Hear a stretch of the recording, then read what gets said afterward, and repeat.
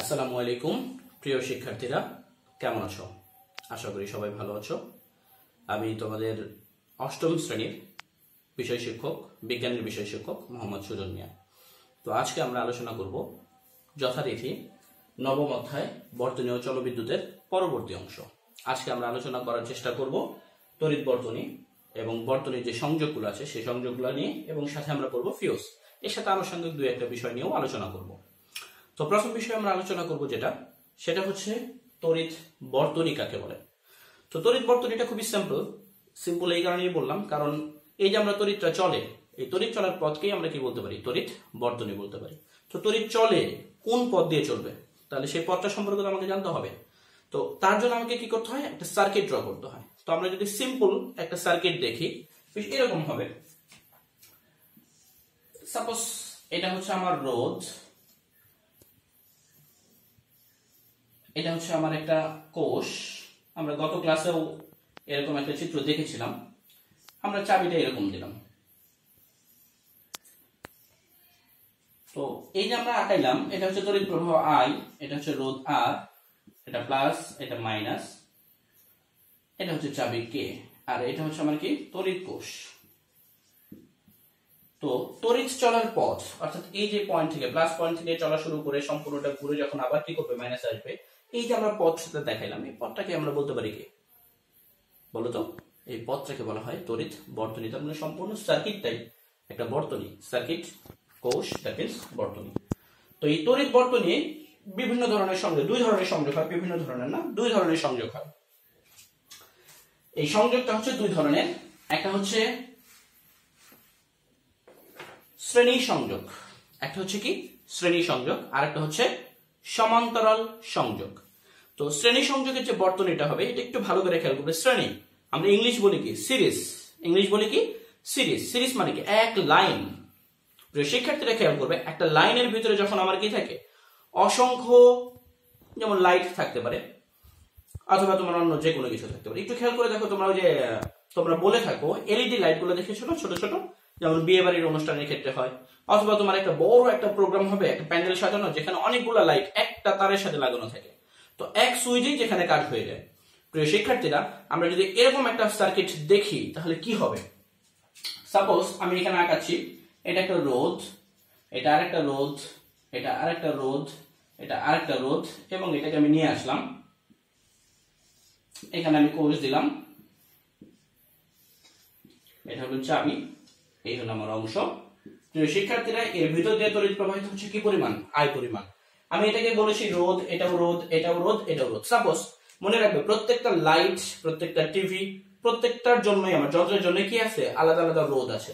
তো আমি একটা, দুইটা, তিনটা, চারটা সাপোজ চারটা লাইট লাগিয়ে রাখছি। তাহলে চারটা লাইটের রোধ হচ্ছে কি? চার রকমের। R one R two R three আর একটা হচ্ছে আমার কি? আর ফোর এটা তো আমরা বলেছিলাম, এটা চাবি।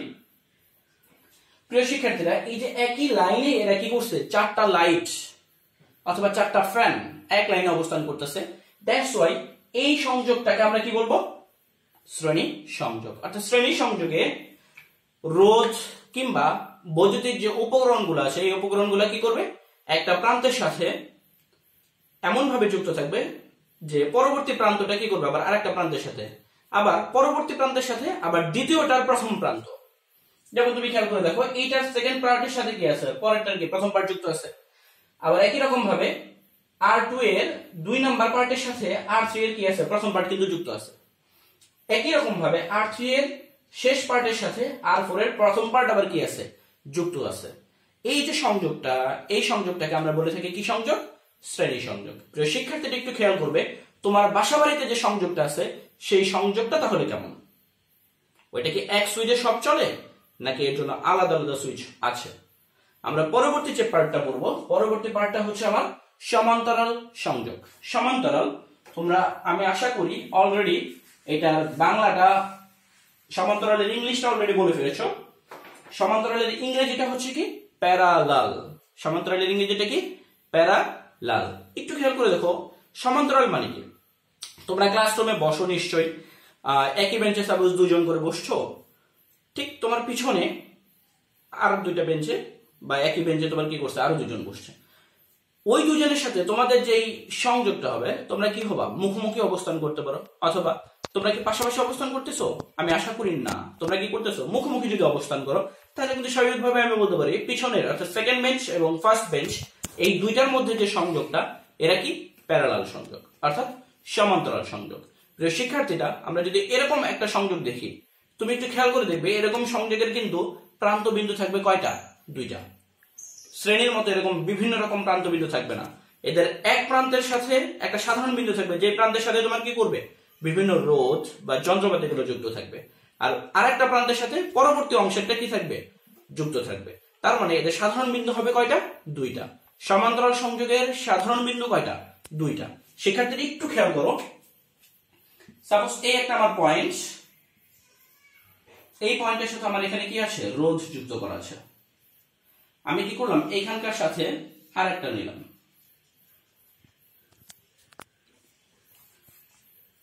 একই রকম ভাবে আমি আর একটা নিচ্ছি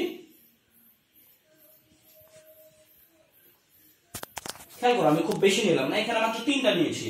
এইটা আবার একটা কোষ যেহেতু আমি বলেছি, তার মানে কোষ হিসেবে আমি দিয়ে দিই।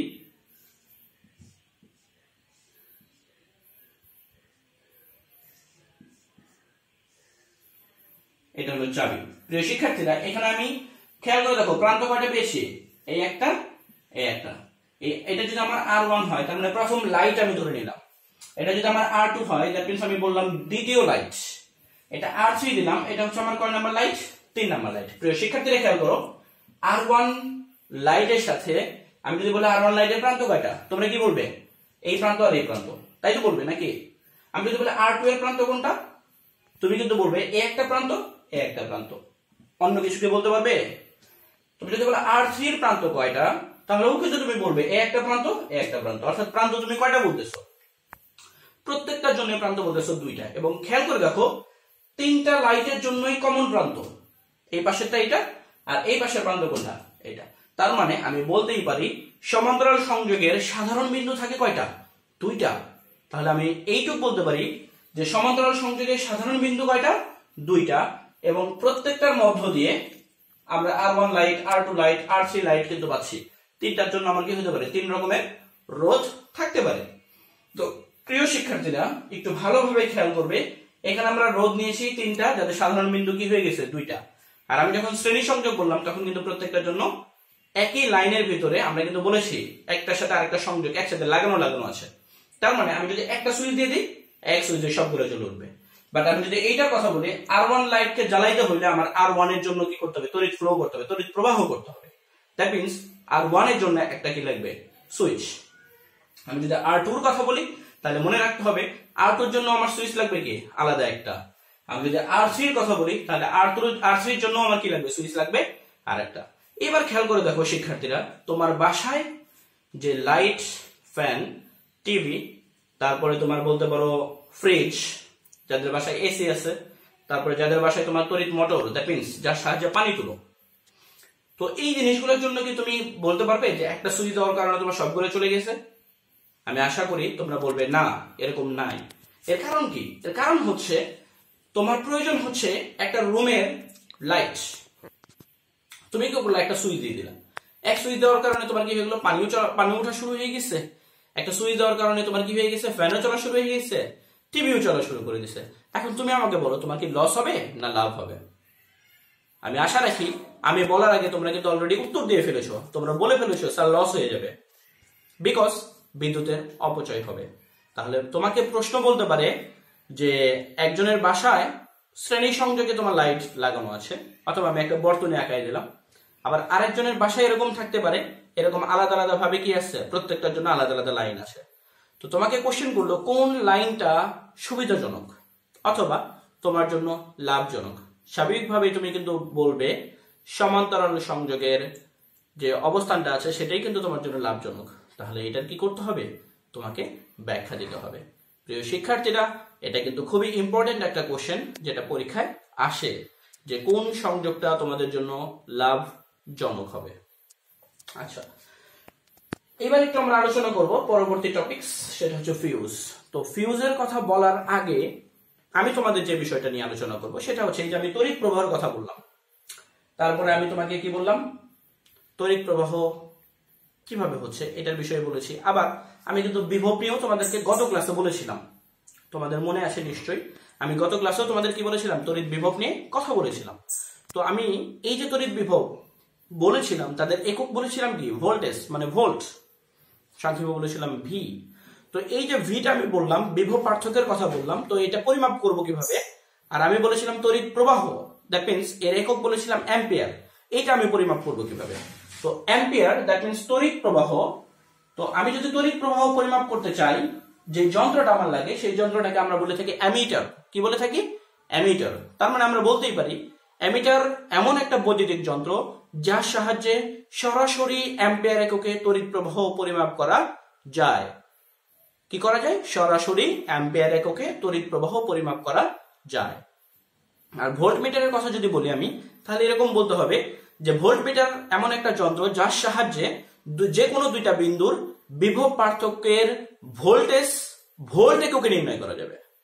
কোন এককে নির্ণয় করতে পারবা? সরাসরি ভোল্ট এককে নির্ণয় করতে পারবা। প্রিয় শিক্ষার্থীরা এই দুইটা সংজ্ঞাও কিন্তু তোমাদের পরীক্ষায় আসে। সো তোমরা অবশ্যই এটা মনোযোগ দিয়ে পড়বে।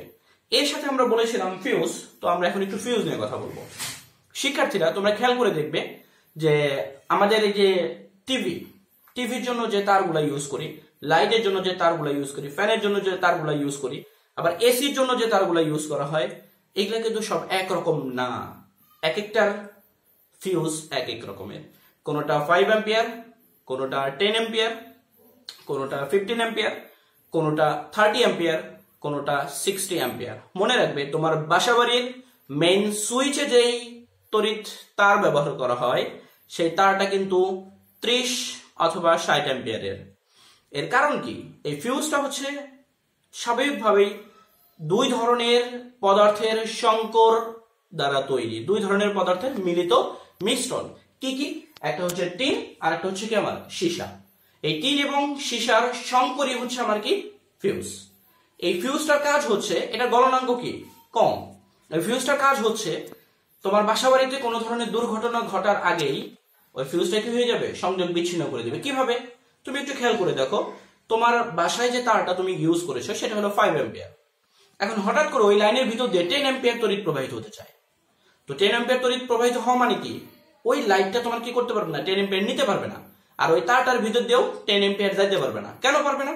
কারণ ওই তারটা হচ্ছে আমার ফাইভ এম্পিয়ার যখনই টেন এম্পিয়ার ওর ভিতর দিয়ে যেতে যাবে, সাথে সাথে তোমার তারটা কি হয়ে যাবে? গলে যাবে। অথবা সংযোগ বিচ্ছিন্ন হয়ে যাবে।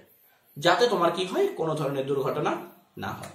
প্রিয় শিক্ষার্থীরা, আজকের টপিকসে আমরা আলোচনা করলাম ফিউজ বর্তনী সংযোগ এবং তড়িৎ বর্তনী। দ্যাট মিনস তড়িৎ সংযোগগুলো আমার কীভাবে থাকে? শিক্ষার্থীরা, গত ক্লাস এবং আজকের ক্লাস, এই বর্তমানের ক্লাস, এই দুইটা ক্লাস থেকে আমরা থিওরিটিক্যাল পার্টগুলো নিয়ে আলোচনা করেছি। আর গাণিতিক অংশের জন্য তোমাদের কিন্তু খুবই সিম্পল এবং সহজ একটা সূত্র অ্যাপ্লাই করে কাজ হয়, সেটা কিন্তু আমি অলরেডি তোমাদের বলে দিয়েছি। ফর্মুলাটা কি ছিল? ওমের সূত্র থেকে আমরা বলেছিলাম I equals to V by R এখান থেকে আমরা কিন্তু এটাও বলেছিলাম ভি সমান আই আর শিক্ষার্থীরা, আমি আশা করি গত ক্লাসের পড়াগুলো তুমি অলরেডি পড়ে ফেলেছো। আর আজকে, এখন আমি যা পড়াইলাম, এটা অবশ্যই তোমরা শেষ করবে এবং খুব ভালোভাবে বাসায় পড়বে। যদি ভালোভাবে তুমি পড়াশোনা করো, তাহলে এই যে দীর্ঘ সময় আমাদের প্রতিষ্ঠানটা বন্ধ হয়ে আছে, এই বন্ধটাকে তুমি কাজে লাগিয়ে আবার পূর্বের অবস্থানে ফিরে যেতে পারবে।